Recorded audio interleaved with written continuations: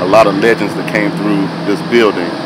So just the love and history of West Charlotte right now, it seems we, in our minds, we're saying it's being diminished, but it's also at the same time we got a new beginning. So I, sad but proud at the same time, so to speak. Um, see this building and all those people that walk through those halls, all the games that were played, all the legendary games, championship runs. It's kind of bittersweet. Bittersweet.